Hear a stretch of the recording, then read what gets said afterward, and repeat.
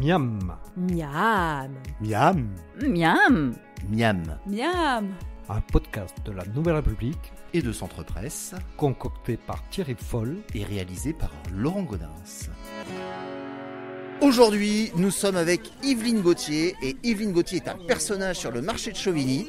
On peut la retrouver tous les samedis matins. Et la famille Gauthier est spécialiste des champignons, des champignons de couche, mais pas n'importe lesquels. Spécialiste des shiitake. C'est une particularité. Et on va trouver aussi sur le marché les pleurotes. Et en fait, c'est vraiment une... quelque chose de particulier et d'exceptionnel parce que c'est une des rares productrices du département. Je me demande même si c'est pas la seule, voilà, productrice de pleurotes et de shiitake. En serre, oui, je suis toute seule. Il doit y avoir une autre personne euh, qui est sur Loudun, qui en fait maintenant. Et Yveline, est-ce que ces champignons, on peut en avoir toute l'année? Oui. Oui, oui, oui, oui, oui, puisque c'est des champignons qui sont faits dans une serre, chauffée, climatisée, donc ça se fait toute l'année. Ça pousse plus ou moins bien, plus ou moins vite, ce qui fait que parfois on peut être un petit peu à court, mais normalement il y en a toute l'année. Et est-ce que c'est compliqué à faire venir ces champignons Pourquoi est-ce que vous êtes si peu à en faire? Parce que ça demande beaucoup d'investissement. L'investissement est très, très. Enfin, en serre, du moins, est très onéreux. Pourquoi? Je ne sais pas, parce qu'il n'y a plus de champignons de toute façon dans la Vienne. Très peu. Est-ce que vous pouvez m'expliquer, Yveline, la différence entre un champignon de Paris et un shiitake Comment est-ce que ça pousse? C'est pareil, oui et non. Non, non, non, c'est pas pareil. La, la base n'est pas la même. Le, le substrat de pleurote est, est fait avec de la paille broyée, pasteurisée, mycorhizée qu'avec de la semence évidemment de pleurote. Le shiitake, c'est euh, même euh, plus que pasteurisé. C'est pratiquement stérilisé avec le shiitake. Euh, la pleurote, enfin le pleurote, ça pousse en trois fois sur une, à peu près deux mois. Alors que le shiitake, il lui faut facilement trois semaines, un mois avant de commencer à pousser.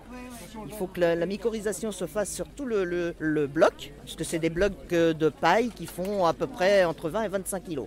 Il faut donc après les ouvrir pour que les champignons puissent sortir à travers. Le shiitake, c'est une variété de champignons, tout comme le pleurote, tout comme le champignon de Paris qui peut, que l'on peut trouver blanc ou marron. Voilà, c'est des variétés de champignons. Le shiitake, comme son nom l'indique, effectivement, est un champignon qui est asiatique, mais que l'on fait en France depuis quasiment euh, une centaine d'années. C'est un champignon très très goûteux, qui tient très bien à la cuisson. Et ce que j'aime bien dans le shiitake, c'est qu'il y a quasiment pas de perte. Alors qu'un champignon de Paris, euh, quand vous... ouais, 50%. 50%. Voilà, c'est un champignon qui a beaucoup moins d'eau. Champignon de Paris, il y a 95% d'eau, alors que dans le shiitake, on va être à 60-65% d'eau. Mais c'est un champignon très goûteux. qui ressemble un peu au cèpe, mais qui, contrairement au cèpe, a des lamelles. Ça a un peu le gras du cèpe, mais c'est pas du cèpe. Alors aujourd'hui, qu'est-ce qu'on va faire, Laurent, avec ces shiitake On va faire une belle recette en fait de croûte au shiitake, de la pâte feuilletée maison, une sauce au shiitake à base de crème. On va y mettre aussi à l'intérieur quelques petits cubes de potimarron.